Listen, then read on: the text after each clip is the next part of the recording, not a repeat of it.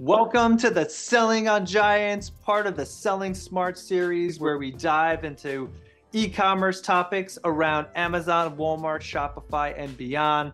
Today's focus is a 1P Amazon Vendor Central policy. Amazon's crap can't realize actual profit or any profit policy, and how a solid minimum advertised price map strategy can shield your products from becoming unprofitable. Let's explore actionable insights to enhance your e commerce success. So, to dive in, what is Amazon's crap policy? Amazon crap, that's right, crap, can't realize any profit. Policy targets products that yield low margins, uh, specifically on the Vendor Central platform.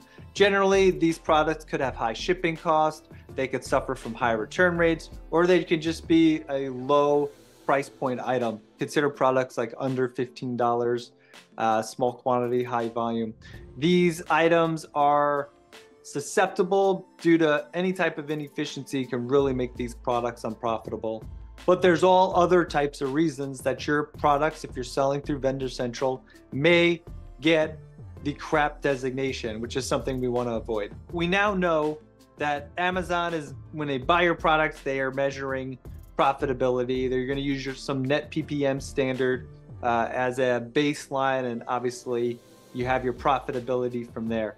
And one of the top reasons we find that these brands uh, get that crap designation uh, is because they have poor MAP policy, and that's minimum advertised price policy. And what we have found generally with brands that are a little larger, so maybe they're already in brick and mortar retail and they're also selling online and their website does as well, if not better than their Amazon. Amazon's third fiddle. So they don't have the opportunity uh, to get access to as much inventory, for example, uh, as their website or their direct to consumer channels. Uh, and therefore, it's kind of a fight. And what we find with brands like that, they tend to let uh, other retailers kind of dictate pricing. So they may run a sale, the product gets uh, on the market at a significant discount. Uh, Amazon sees that, they cut back on their price to match it because they want to match the lowest price. Uh, it eats into the profit margin. Then your your products get designated as uh, as crap. They can't realize actual profit. They cut off your PPC. Uh, you lose the buy box, and it becomes uh, really a big mess. And it's it's painful to clean up from it, and it's going to cost you uh, in the end in purchase orders and getting Amazon to consistently buy that product. What's the importance of a good uh, MAP policy? A robust MAP policy is essential for maintaining price integrity and protecting your brand values, especially in e-commerce settings. So typically what we see when brands have issues around their crap policy, it's usually they're they have a lot of resellers. And so normally what we find when brands are primarily wholesale, uh, they make most of their profits from their uh, places in brick and mortar retail or how they're distributed uh, outside of manufacturing uh, tends to be one, or their website is number one and number two, and Amazon's a close three. So uh, large enough where it requires a team to manage it, uh, but not large enough to get priorities when it comes to inventory. And that's a major challenge.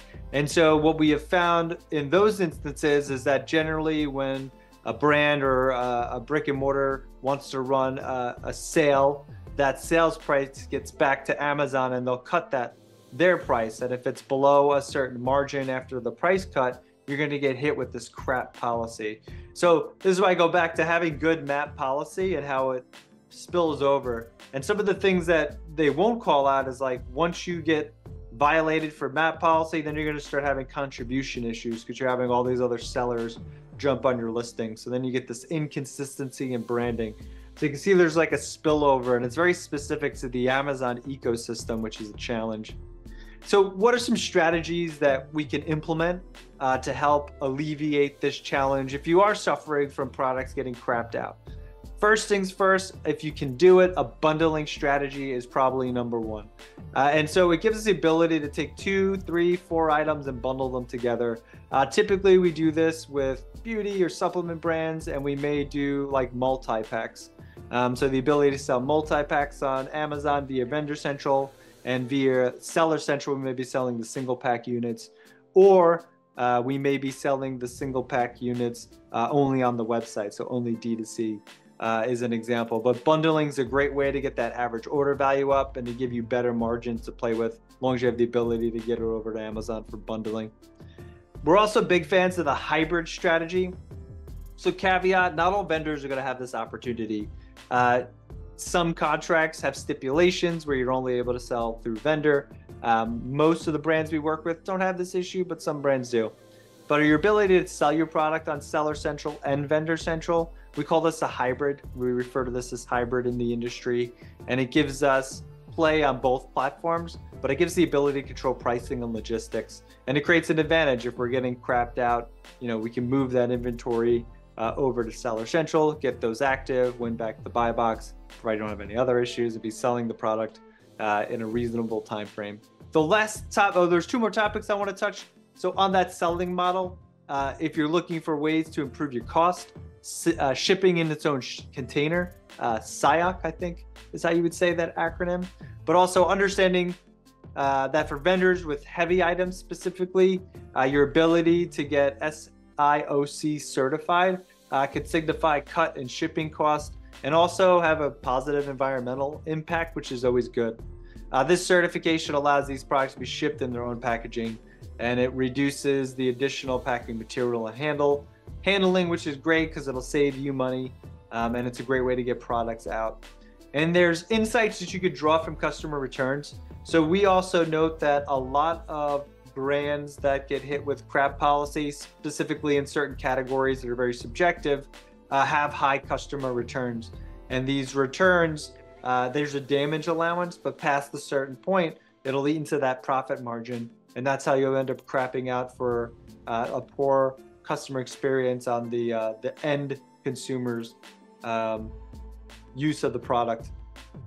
And so understanding the reasons behind return rate uh, can really help. And for us, uh, we've we work with a brand that had some packaging issues. They were polybagging uh, some products that they probably shouldn't have, and those products were showing up to customers' doors broken or damaged.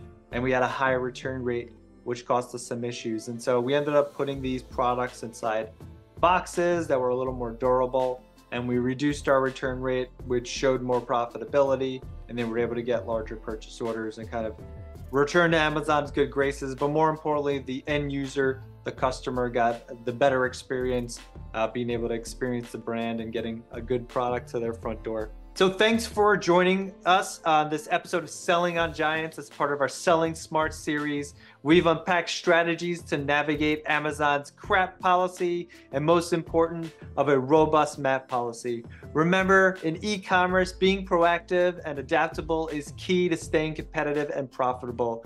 If you enjoyed this episode, please leave us a review wherever you tune into your podcast and feel free to email us at hello at sellingongiants.com with topics you'd like like to hear more about. Your feedback is invaluable to us as we continue to explore the challenges of selling on large platforms like Amazon, Walmart, and Shopify. Don't forget to subscribe for more insights and tips as the latest episodes release. And until next time, keep optimizing and stay classy.